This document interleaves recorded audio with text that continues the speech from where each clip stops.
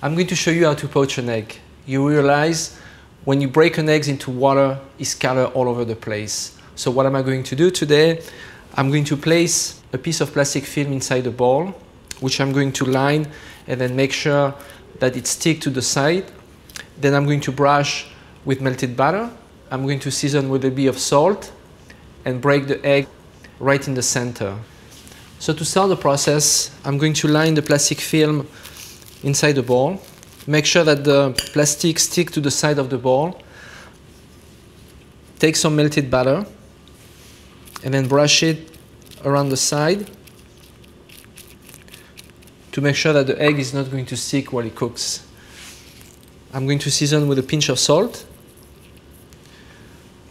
I'm going to pour the egg right in the center and then I'm going to tie the egg inside the plastic.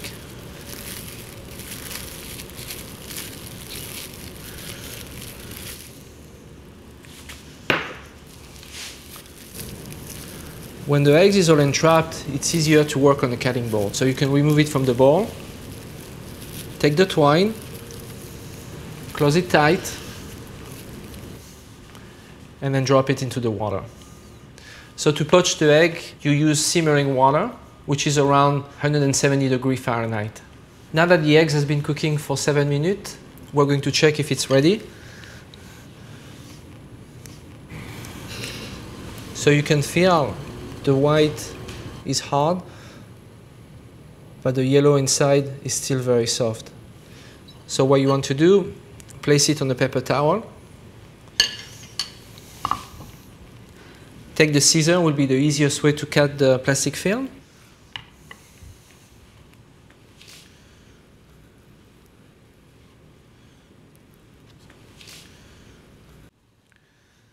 And now you have a perfectly poached egg and you haven't lost any of the white.